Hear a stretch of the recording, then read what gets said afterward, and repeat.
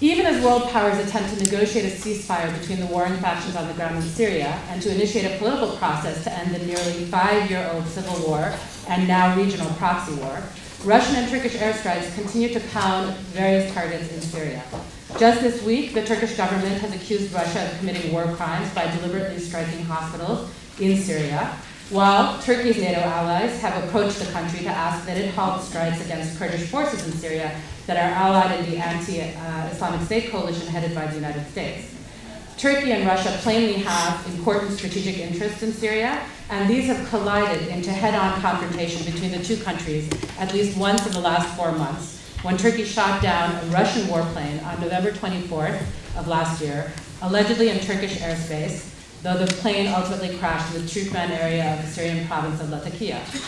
With all of this in mind, this is an extraordinarily timely panel to help us disentangle the competing strategic objectives of Turkey, Russia, and NATO in their engagements with the Syria crisis, and to better understand the high stakes potential for confrontation between Turkey and Russia over Syria and the attendant risks for NATO. We could hardly have a better qualified panel to address these thorny questions. Our first speaker, General Wesley Clark, needs no introduction as he is well known to UCLA audiences, and indeed audiences across the country, as the former Supreme Allied Commander Europe, who led NATO forces to victory in Operation Allied Force against Serb forces during the Kosovo War. General Clark is also a widely published author of books and articles, including his recent op-ed in USA Today entitled, quote, In Syria, Russia is the real threat.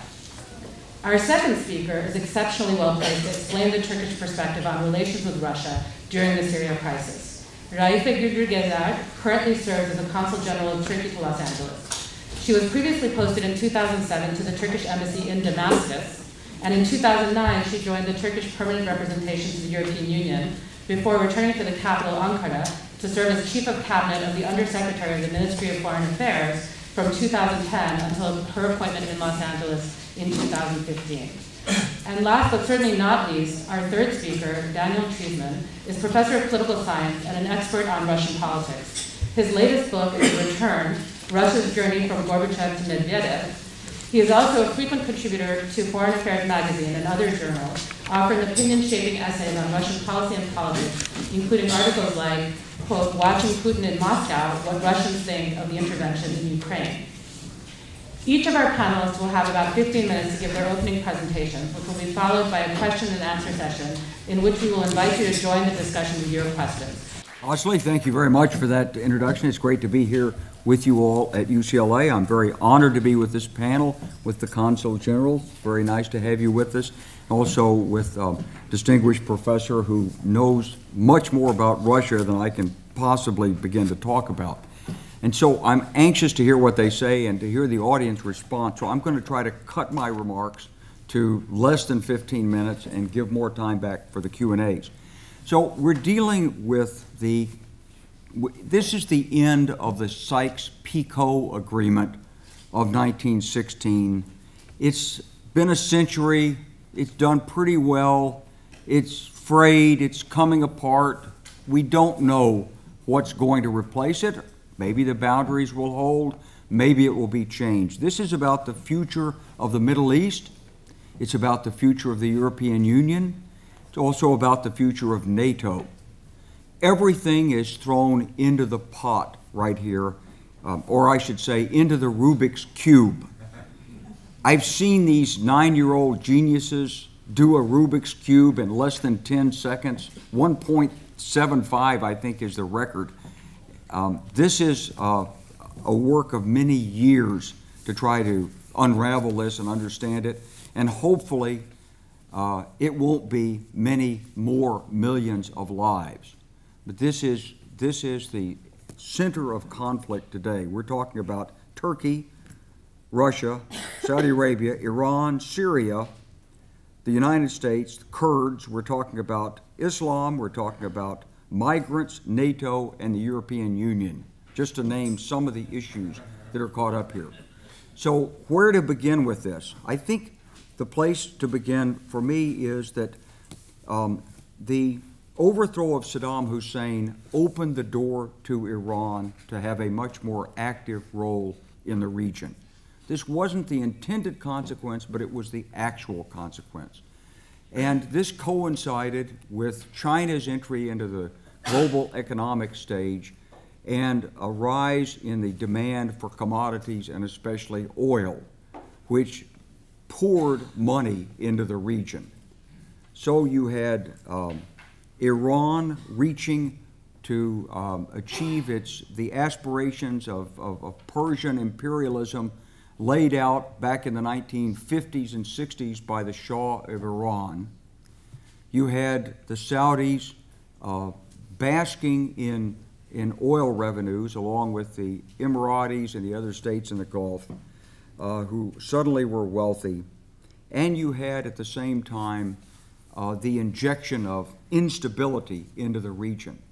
The United States was an early actor in this because when we didn't find weapons of mass destruction in Iraq, we um, played the democracy card. It's a card that's hard for Democrats to resist, and so when it's played by Republicans, it, it's, it's like um, it's like super glue or something because you can't say no to it if you're a Democrat. You're going to bring democracy. You're going to have elections. You're going to have human rights. We're going to do this in this region. It's so wonderful. Can't we do more of it?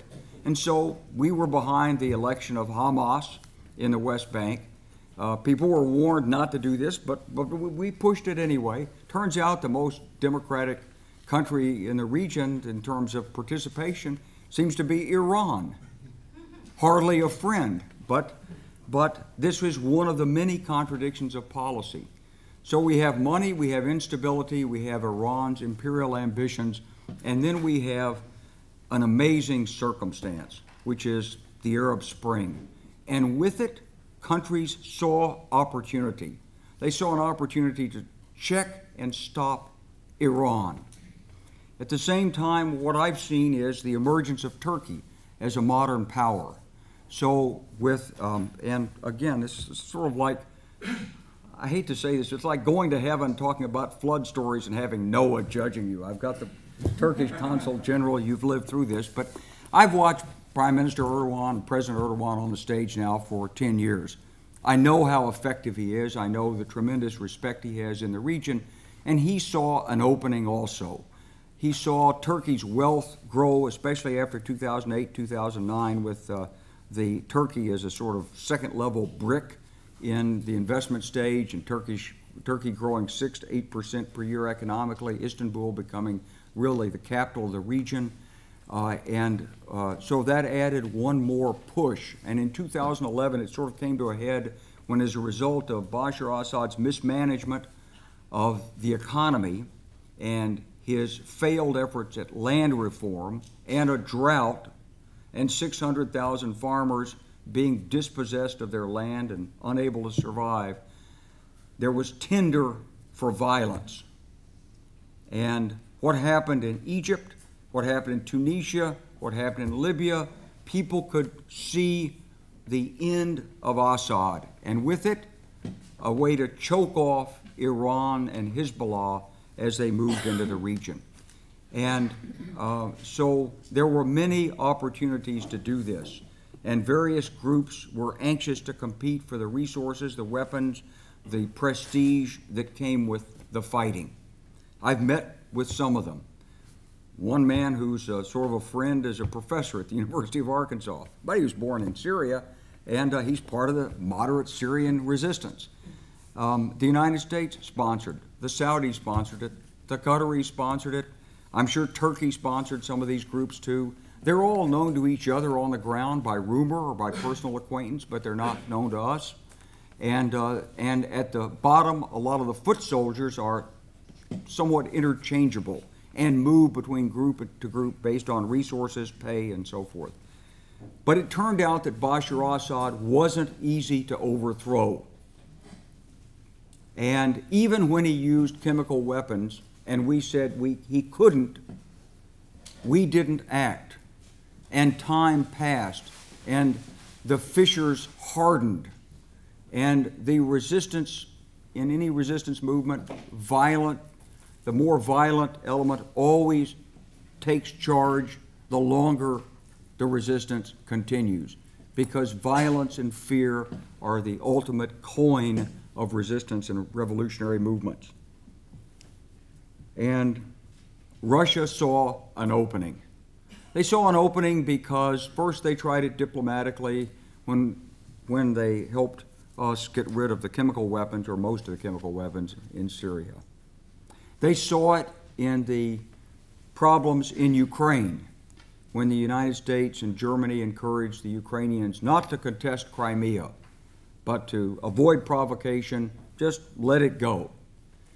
I made eight trips to Ukraine, uh, 2014, 2015, and so I got a lot of eyewitness feel for what this felt like from the other side. And Putin looked at it and he said, You know, I can play this smart. If I do this right, I've got the United States that needs me for the Iranian nuclear negotiations. Now, this is, Daniel, this is sort of my thesis on Putin. Uh, so he needs, the United States needs me for the Iranian nuclear negotiations. If I pull out, they're done, and Obama's going to have to bomb Iran, and he doesn't want to do that. Um, the Europeans need me because I'm the biggest market for their goods, and so even though they've sanctioned me in Ukraine, they really don't want to keep those sanctions on. They want to let those sanctions go. And so if I play this right, I can get into the Middle East, sell weapons, promote Russian technology, gain worldwide leadership again from my role in the Middle East, uh, have a something then to trade off on the sanctions if I can do something constructive with migrants, and it, get rid of the sanctions in Ukraine and still have leverage over the United States. And so that's the basic equation that's playing out there. And from the United States perspective, it's very clear we don't want to be back in there with foot soldiers on the ground. Tried that once, didn't work too well. Turns out we don't really do well occupying Arab nations. And so the plan is to create an agreement, a consensus of the Saudis, the Iranians, the Turks, and all of the resistance fighters against ISIS, and try to arrange at least some notion for the shape of the future Middle East, and then turn all that military power against ISIS and wipe it out.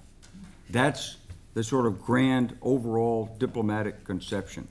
It's not articulated well because if you were a diplomat, you wouldn't articulate it either because it's pretty hard to reach it and you'll be constantly judged and measured a failure against it.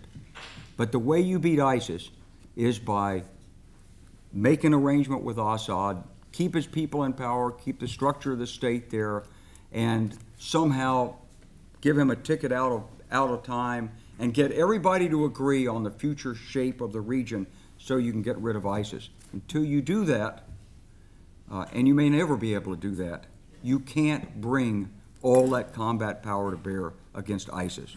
Now, I've overstayed my time here, and I'm going to halt right there and look forward to what everyone else has to say up here. Thank you. Um, well, um, actually, I'll just add upon to what uh, General Clark said, although I have certain points that we uh, slightly differ in. Now, um, let, since we're talking about uh, NATO, Turkey, and Syria, let me just give a brief introduction to our relations with NATO. Um, Turkey, in, uh, as some of you know, some of you don't, in 1952 became a member of the uh, North Atlantic Treaty Organization. It was for decades during the Cold War the southern flank of NATO. Uh, Turkey uh, took and uh, continues to take part in several peacekeeping missions, including those in the Balkans, KFOR, SFOR, ISAF in Afghanistan, the uh, NATO training mission in Iraq, uh, and all around the world. So we are an active participant within NATO. Um, as regards to our stance towards Syria, I want to take it from a broader context and then focus on Syria since I have 15 minutes.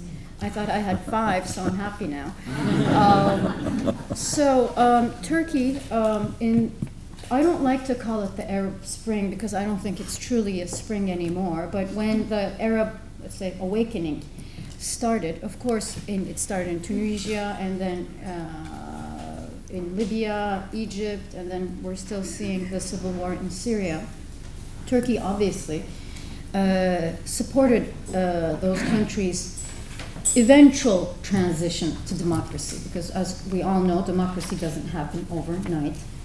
Um, it's only in our strategic interest to have stable countries in our region, because we're the ones that suffer the most. Um, and um, as a part of that, Turkey also, um, in the beginning, I remember when the revolt happened in Syria, you know, before that we had good relations with Syria, and, the, and we advised the Syrians to directly go to elections uh, and have an election, and if Assad wins, then he would continue. If not, then there would be a new government in.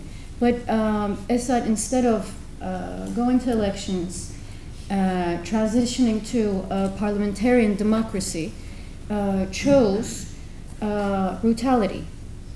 As the general said, he used and he continues to use all different kinds of weapon, weapons, barrel bombs, including chemical weapons, towards his own people.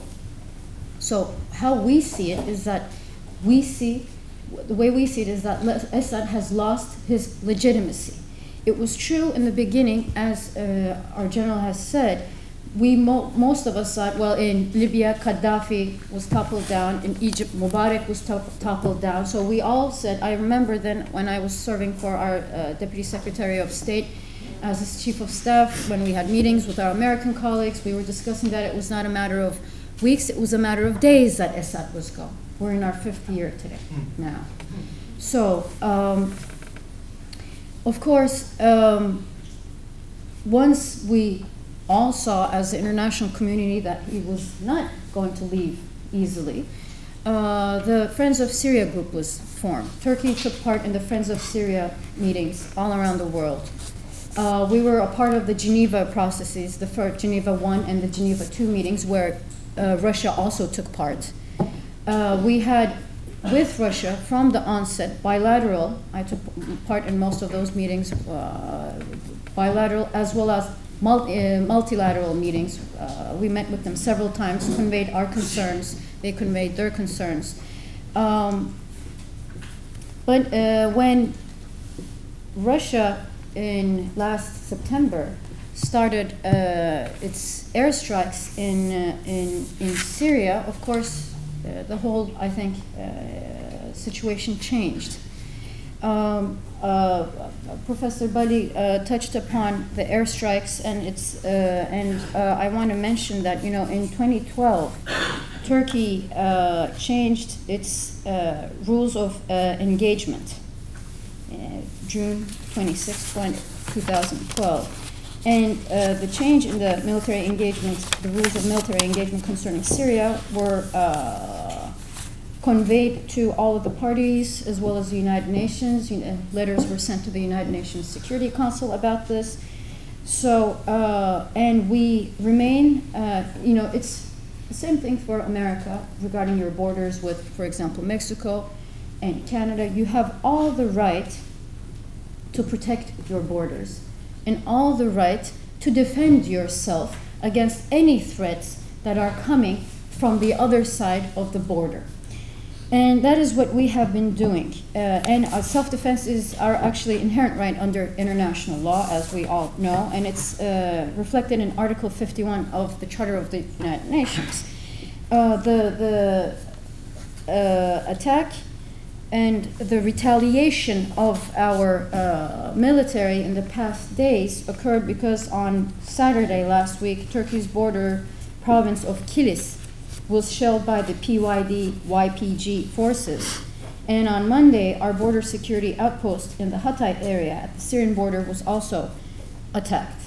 Now, we have been a part of the Daesh uh, global coalition against uh, Daesh, or ISIS as you call it, from the onset. Uh, we have opened the Incirlik Air Base. Uh, currently, there is the obviously American forces there, the forces of Britain, Qatar. Now the Saudis uh, are going to take part. We have German uh, uh, forces there, and uh, we are a part of the global coalition that is countering ISIS. We have designated Daesh or ISIS in 2013 as a terrorist organization. Um, the way we see this is that unless a comprehensive political solution in Syria is not founded, these terrorists, it can be today Daesh, tomorrow it's going to be something else. It can be one group, they evolve into all, all different kinds of groups. We've seen this in, in Al Qaeda, in Al Nusra, and so on. A comprehensive political solution where the institutions within Syria are kept intact, but of course, Assad leaves. This can be through a political transition. Last two weeks ago, I think time flies so fast, and every day there is a development. So uh, there were uh, meetings uh, among the Syrians, the Assad regime and the Syrian factions. That didn't go well. At the end of the day, the Russian permanent represent, uh, representative in uh, United Nations, he got up, he uh, blamed the Syrian opposition.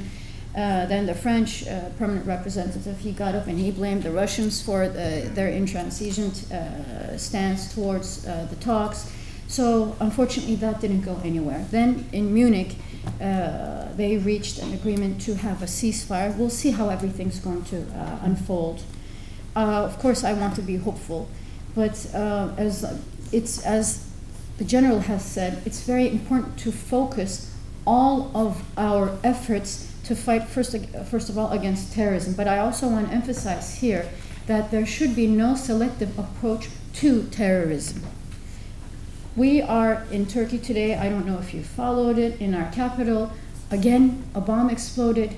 Uh, until now, uh, I don't know, maybe my vice consul will correct me. Uh, 28 people have died, and there are over 61 injured. Uh, most of them are, are military men, are servicemen, uh, uh, but we don't know the exact information. So we are a country that has been suffering from terrorism over the decades, from PKK and DHKPG, KPC terrorism. These are the both uh, organizations that uh, America and the United, the European Union has designated as terrorist organizations. So uh, we believe that it's important if we are uh, addressing the issue of terrorism, uh, there should not be a selective approach.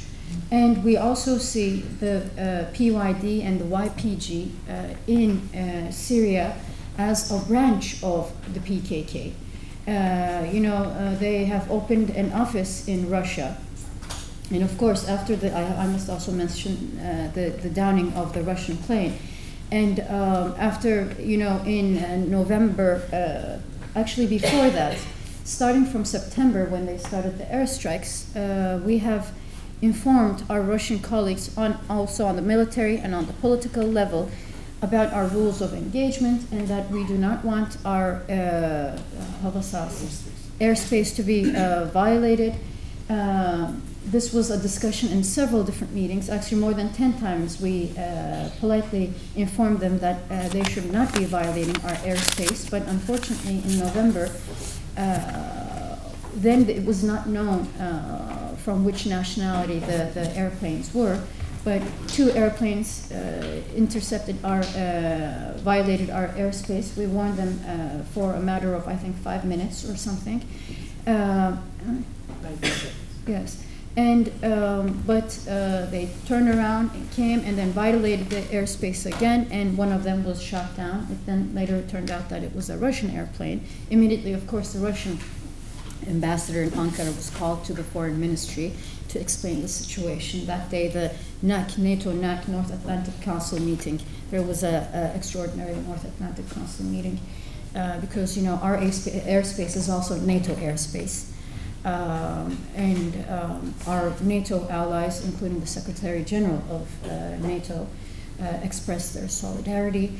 And um, actually, uh, there was also another meeting in NATO, and I want to just read um, the there's a Q&A with the Secretary General, and CNN asks a question to the Secretary General. He says the Russians are saying the plane was shot down over Syrian territory and never went into Turkish territory. Are you convinced that it was shot down indeed over Turkish airspace and that Turkish airspace was indeed violated? Violated. Forgot the D. Okay. Secretary General. The Allied assessments we have got from several allies during the day are consistent with the information we have been provided with from Turkey. So the information we have from the allies is consistent with what we have got from Turkey. Um, so indeed, it did fall in, uh, it was shot during, uh, uh, when it was in uh, Turkish airspace. Of course, we, from the beginning, tried to de-escalate the situation, but the Russians took it to a completely different level. And they have started a, a black propaganda against Turkey, where you see in the news, I don't know how closely you're following, every day they are accusing of, uh, us of doing something. And as a part of that, um, they have also uh, increased their support to PYD, the YPG.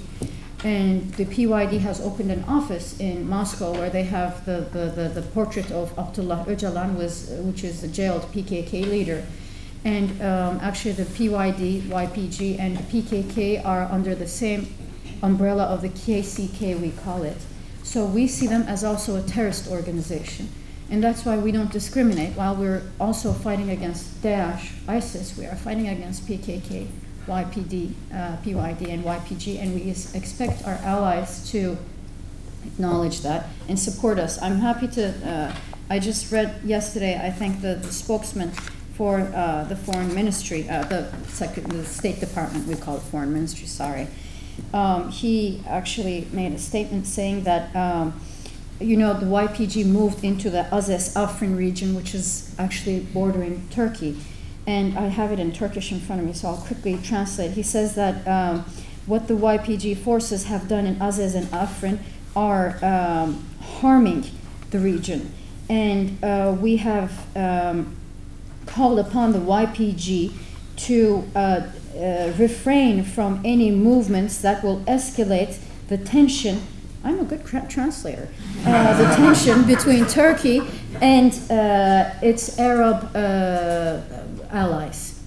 So uh, I'm, I'm happy to see that also our American allies are recognizing that the PYD YPG has its own agenda and that they are not only there to help America fight against ISIS, but they're also increasing their territory and so on.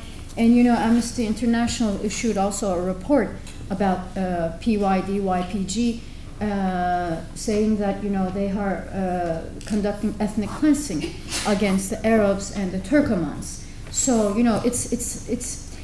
You know, I served in Syria for two years, ladies and gentlemen. At the end of the day, when I left Syria, the only thing I knew that I, was that I had no idea about the Middle East because it's very diffi- uh, difficult. And I'm, uh, I'm from Turkey, so we are in the region. It's very difficult to comprehend what is going on. Because today, my, per- my best ally in the region and my arch enemy, next day, we're best friends and then we're arch enemies. It's very, there, there, are, there is a system of co- constant shifting alliances. It is very difficult to fully comprehend and uh, read what is going on. So the decisions that we must take as the international community should be taken very wisely and thought over. Um, I, I, will leave it here. I'm running out of time, so I will leave it at, at this point. Thank you very much for listening me, and I'm uh, waiting for the, the questions to come. Thank you. Professor Treisman. Thank you. Well, it's also a great honor for me uh, to be on a panel with General Clark and Consul General Gezer. Uh, as a Russia specialist, I'm going to focus on the Russian role in these events, how Russia became involved in Syria, uh, and also uh, how we ended up in this situation now uh, of a very potentially serious confrontation between Russia and Turkey.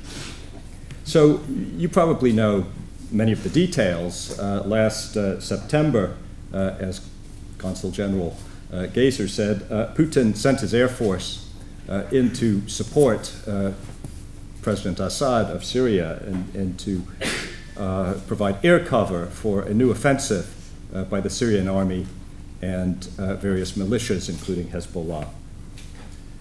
So why did why did Putin uh, send his air force in? It was quite an, unexpected to many people at the time. I think the main reason uh, based on many conversations with people in Russia, is that uh, the Russians at that point thought there was a very serious danger that Damascus would fall uh, to the rebels, that Assad would be overthrown. Uh, from Putin's perspective, that would be a disaster. Uh, either ISIS uh, would end up in control, and that would be an incredible victory for the jihadis uh, and energize the jihadi movement worldwide. Or uh, US backed rebels uh, would end up uh, winning uh, against Assad in Damascus, which could either lead to a stable pro US regime in Damascus, uh, which Putin would, uh, would very much dislike, another case of US backed regime change, or it could lead to complete chaos, as happened in Libya. So I think that was the main reason. They, they were seriously worried that Damascus could fall. I think there were some supplementary reasons, and in this I, I, I think I, I, pretty much agree with, with uh, General Clark. Uh, Putin wanted to shift attention from Ukraine, uh, where he was lowering the temperature at that point in the hope of uh, getting the Europeans to weaken sanctions. Uh, and so he needed a new focus uh, for the patriotic community within Russia, a new set of stories for the nightly news. Syria, uh, was a convenient one. Of course, that wasn't the main reason. I would say it's a, a background uh, reason. Also, at that time, the US and, and the whole West was trying to isolate Russia, and uh, Putin wanted to show that he was still an important player in international affairs. He also uh, had the chance to show off uh, the new military that uh, had emerged after several years of reforms, and as, as the general said, uh, perhaps to, uh, to, to, advertise some of the weapon systems that Russia would like to sell. Okay, so a number of, of supplementary reasons, but I think the key trigger was this fear that Assad could fall. So the, the Russians began uh, uh, flying a, a, large number of airstrikes uh, within Syria to support the, the new offensive. and then on 24th November, as was men mentioned, a Turkish F 16 combat aircraft uh, shot down a Russian Su 24, uh, which had flown briefly across a strip of Turkish territory. And at that point, Putin reacted with fury. Uh, he called this a stab in the back. Uh, he uh, accused Erdogan, uh, the Turkish leadership, of being accomplices of the terrorists and he slapped economic sanctions on Turkey. And as, as uh, Ms. Gezer said, he turned the propaganda machine, the, the quite powerful Russian propaganda machine, against Istanbul. So Russian TV uh, started airing reports. Uh, I saw, saw one of these reports uh, when I was in Russia shortly after that, in which uh, for about an hour or so, uh, the news program documented, so it, so it pretended, uh, the proof, which showed a lot of evidence uh, that Erdogan's family was personally uh, profiting uh, from sales of oil by ISIS, uh, which were sold into Turkey. And he, he said he would resign. He's still the president. So if there was any proof. if there's a, uh, so yes, uh, opinions about the, the quality of this proof differ. In any case, intense propaganda against Turkey. Now, this was uh, this, this furious reaction by Putin. This was a major turnaround uh, because previously Putin had been investing quite a lot in this relationship. Uh, the Russians had high hopes for it. Uh, Erdogan was, like Putin, uh, an outsider in uh, the international community, the, the, somebody who the Europeans had snubbed. they didn't consider Turkey quite good enough to be an EU member. Uh, Putin could identify with that, that feeling of exclusion, and uh, that brought the two together uh, to some extent. Trade had been increasing between the two countries. About 20% of Russia's imports of fruits and vegetables came from Turkey. Uh, Turkish construction companies were doing a lot of development within Russia.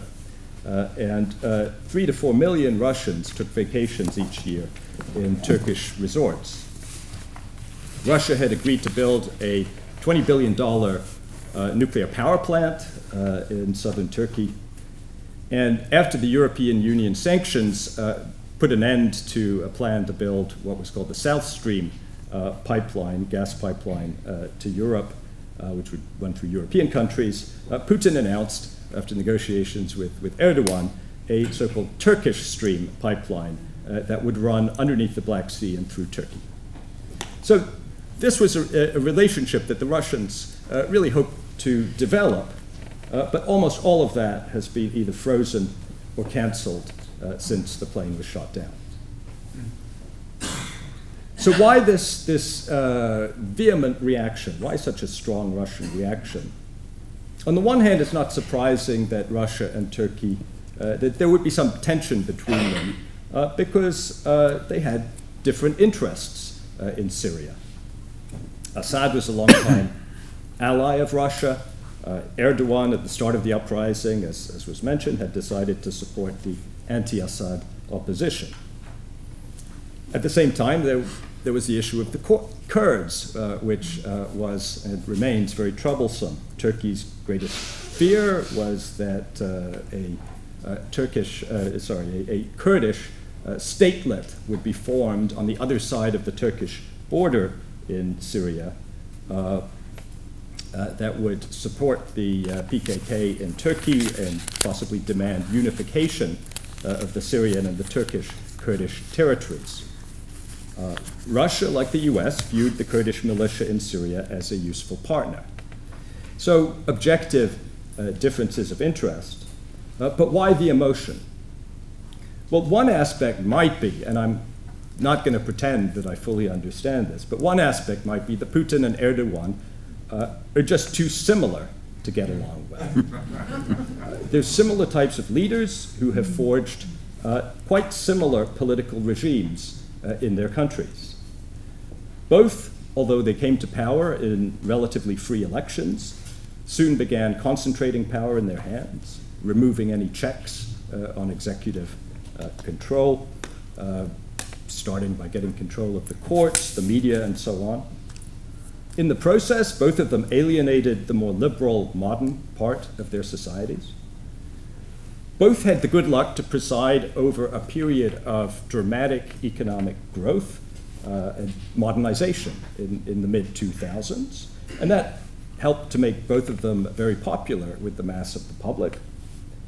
But since the recovery from the global financial crisis fizzled out, uh, both uh, have faced the reality that the growth rates of the past are not coming back.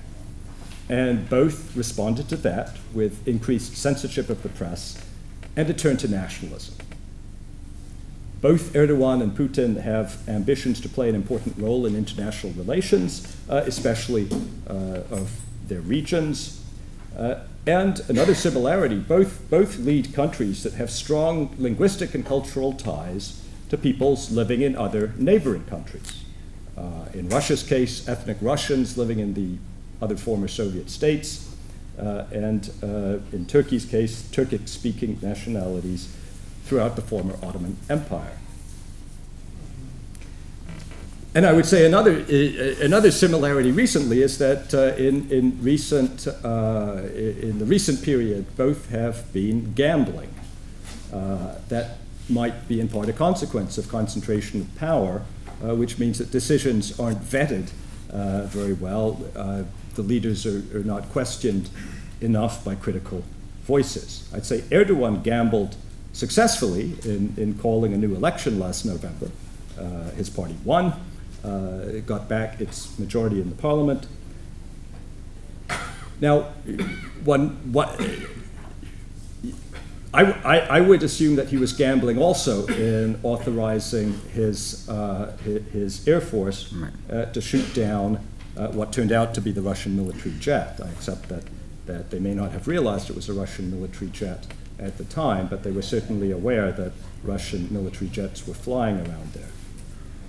That was a gamble, if, given, given the situation. Now, Putin's gambles, I would say, consist of just about everything he's done internationally since Crimea. Uh, a whole series of steps uh, which had very large risks associated uh, and uh, I would say not, uh, not comparable benefits.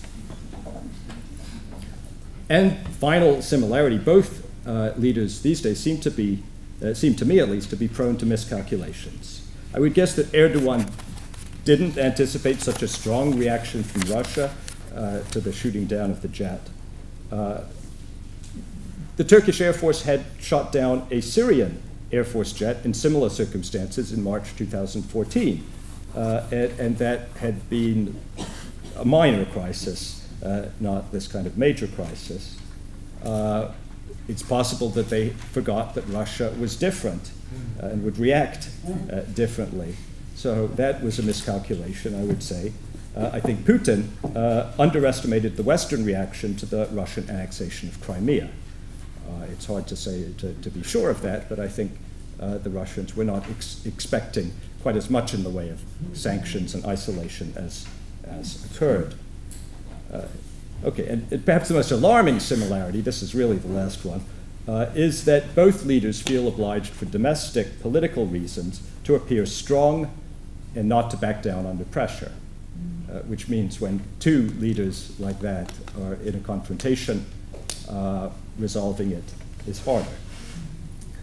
So finally, where do, where do things go from here?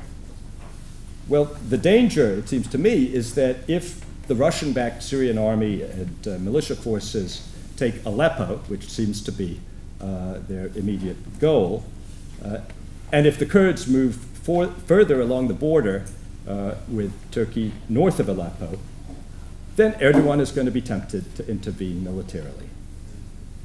At the same time, I imagine, and I'm very interested to hear uh, General Clark's uh, thoughts on this. I imagine that NATO leaders are telling Erdogan, urging him strongly to exercise restraint, is the danger of getting into a conflict with uh, Russian forces uh, if Turkey sends ground forces into Syria is serious. And this could lead to escalation uh, with the, the NATO membership of Turkey being invoked.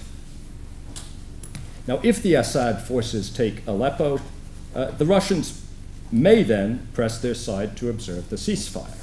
It could be that that would be enough. I think uh, uh, it's important for Putin to have a clear victory uh, to justify sending the troops into Syria, something that he can show to his domestic, uh, domestic public.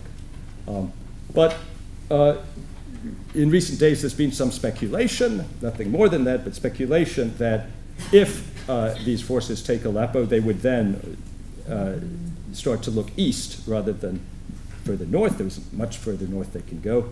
And uh, that the Russians would start uh, fighting ISIS uh, a bit more seriously, uh, that they would even try to threaten the ISIS heartland uh, in uh, the city of Raqqa. It seems, uh, of course, there is no way to know exactly what's in Putin's head, but rather than a confrontation with NATO, uh, which would be highly unpredictable, uh, he might be satisfied with just a, uh, a, a, visible success at this point, followed by the ceasefire. but as I said, I believe that for the last two years he's been gambling. And uh, when somebody's gambling and uh, believes that he's winning, it's very difficult to say uh, when and where exactly he'll stop.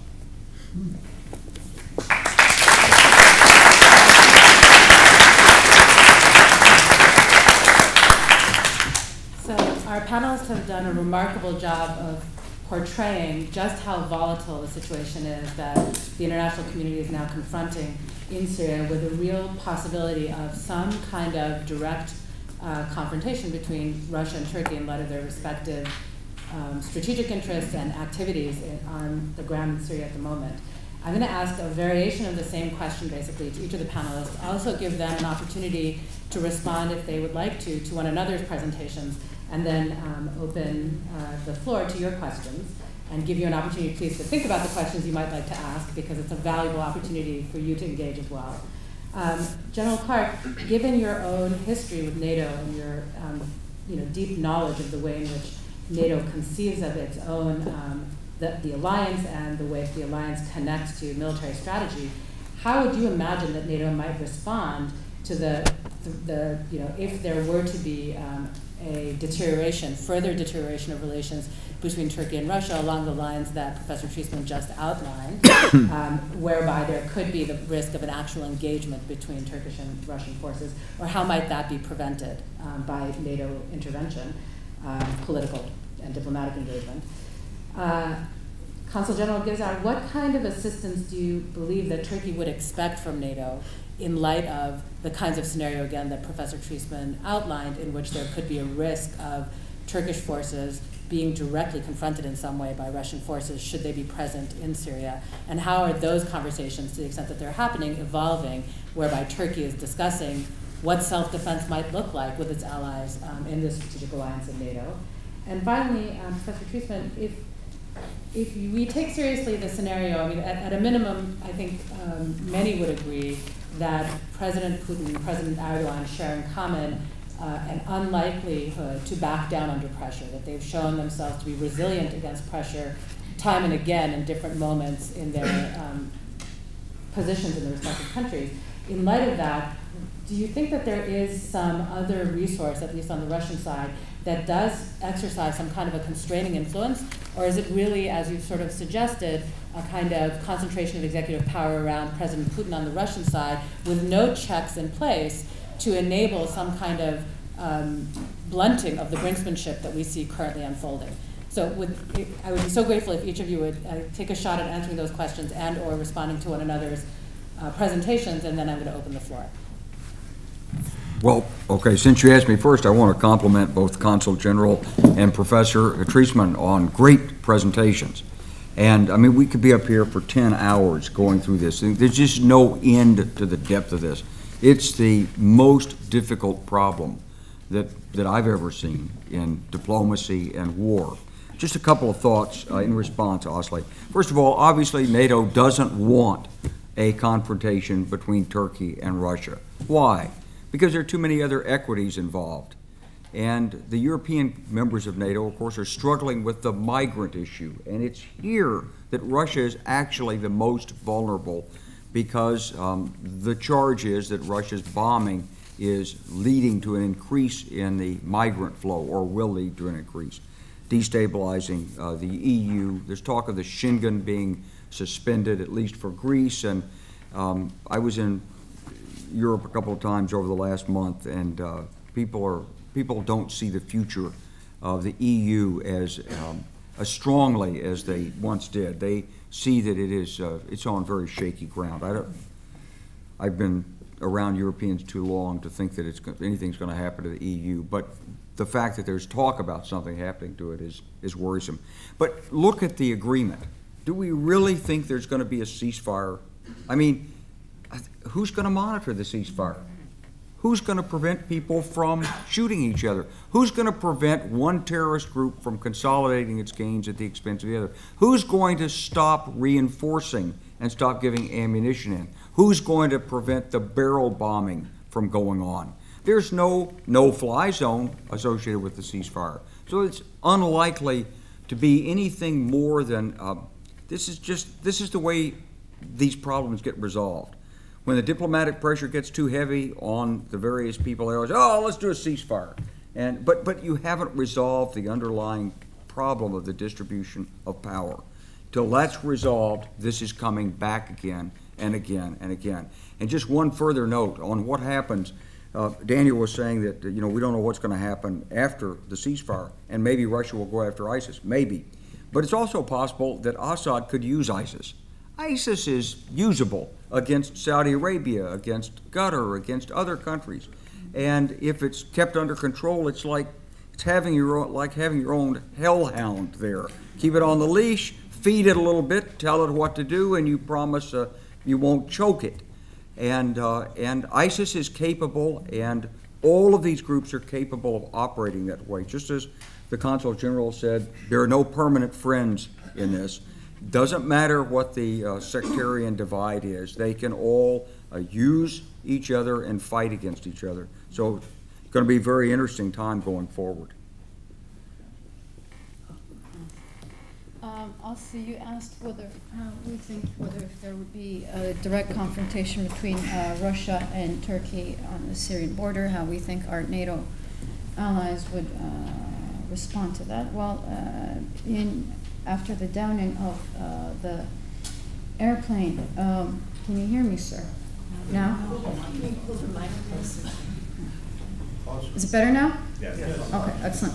So, uh, to reply to your question also, um, uh, after the downing of the Russian plane, um, our NATO allies uh, made statements, including the United States uh, and the NATO Secretary General himself, saying that they are in solidarity with their NATO ally, Turkey. Um, but of course, you know, coming back to the professor's uh, presentation, now um, he said that Turkey was uh, gambling and maybe we couldn't really calculate the results of Russia. First of all, we've been living with Russia for over centuries. We know our neighbor very well. We know how our neighbor reacts uh, to certain circumstances. So it was definitely not a miscalculation. And we must interpret the, uh, the way Russia has been acting starting from what happened in Georgia. And the fact that uh, Russia can continuously violate international law doesn't mean that they can continue to uh, violate other countries' airspaces and not have any impunity. Um, with, there was no reaction, well, immediate reaction to Georgia as regards to the annexation of Crimea. How do you how do you put this in the context of international law? I wonder what law professors teach to their students today about this case. Really, uh, and and with what's going on in Syria again today, how much more will we tolerate Russia's behavior, intransigent behavior? Now, uh, on our side, that was definitely not a gamble. On the contrary, I think most people should salute us for our stance, for standing against Russia's behavior. Of course, we know that we are a middle sized country in our region. We're not a superpower. We are fully aware of that. Uh, we are a, a, country that has, ha- that has had a state uh, uh, tradition for over centuries. We're not a banana republic. So we know our actions very, very well. And I also want to touch upon to uh, one comparison the professor made with, with President Erdogan and President Putin. It's comparing, I don't even want to say apple and pears, I don't even know what to say. an apple and a watermelon or something maybe. so um, it is true that the relations were good because, of course, Russia is our neighbor. We have to, under normal circumstances, have good relations with all of our neighbors. Uh, it is in our strategic interest, as I said in the beginning, to have a stable region, to live in a stable region. But of course, when uh, one of your neighbor uh, openly violates uh, international law in your airspace, and you have warned that neighbor for uh, a long period before that, then you have to react against that. Because if we hadn't downed that uh, airplane, what would have happened? Next. So we expect, as a part of the Euro Atlantic Alliance, for our allies to support us because we have supported our allies over the decades. We have gone to war with our allies, we have supported them in international fora, and it's, I think, only least of us to expect for them to support us. Ground forces, they've been speculating about ground forces. Turkey has no intention of sending ground forces to Syria. Uh, we know that if we send ground forces, that will only uh, complicate the problem. It is important to act with the international coalition to find, as I've said, a comprehensive political solution. Thank you. Professor Treisman. Thanks. Well, Asli, to, to try and answer your question, uh, are there constraining influences on Putin and his decision making on international affairs? I think the scary answer is pretty much no at this point. Uh, everything we know about how he makes decisions suggests that he does some consultation, uh, sometimes more, sometimes less. Uh, but there's nobody who really outright questions what he does. Uh, one influence on him is, in fact, perhaps one of the most important influences on him, is the information that is given to him. uh, information is channeled to him uh, through security service, the heads of the security services. Uh, And so the form in which the information comes to him can affect his decisions. But I would not call that a constraint on him, rather the opposite.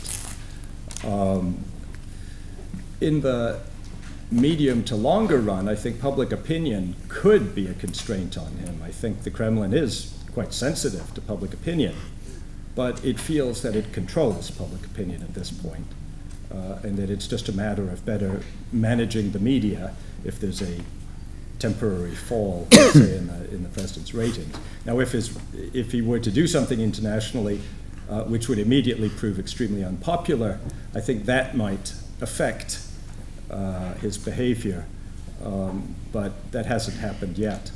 Uh, so at, at, this point, I would say there is very little in terms of constraints, and that's quite an alarming situation. Um, I'd like to just, uh, uh, uh building on some of the things that have been said, to, to if I might, to, to, pose a question to General Clark.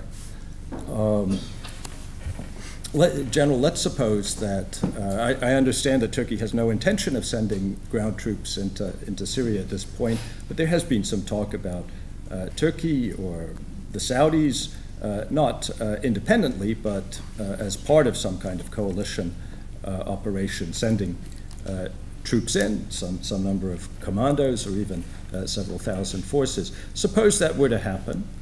Uh, and suppose they were to get into conflict with the pro Assad forces uh, and uh, Russian planes uh, were to bomb uh, the Turkish or, or, other forces, uh, and then Turkey were to respond with air defenses across the border, shooting down some of the Russian planes, and then Russia were to bomb the Turkish air base and uh, Turkey were then to invoke Article 5 and, and appeal uh, for support from NATO. My question is, what would happen? Yeah, it's a good question. And, I mean, of course, I mean, I'm going to tell you that um, if Turkey uh, is attacked, Article 5 will be invoked and NATO will respond. Now, that doesn't mean uh, thermonuclear war. But uh, there's a lot of intervening steps um, to get to where, you know, first of all, you know, the Saudis have been threatening for three days to put F-15s into Incirlik. Um, last time I saw, there were four that might be coming to Incirlik, but I haven't actually seen that they're there. Uh, and there's a big exercise going on in northern Saudi Arabia at King Khalid Military City. Uh, yes, but I've seen Saudi exercises before and they're not like Russian exercises, let's put it that way. So it's not clear that these troops are actually deployable. It's not clear what it means when the Saudis say they'll put ground troops. And they always say, as part of a U.S.-led coalition and so forth. So there's a lot of talk that's designed to bring leverage to bear to try to get a diplomatic settlement. The real card that, that the Saudis could play is the oil price. Now, this, the, the demand-supply curve for price curve for oil is 83%. If you, under normal circumstances, if you take a million barrels of oil off the market each day, um, you're going to get an immediate spike in the price. And we've been about a million barrels surplus for, let's say, 18 months. So there's probably 500 million barrels out there. The, the world uses 94 million barrels a day.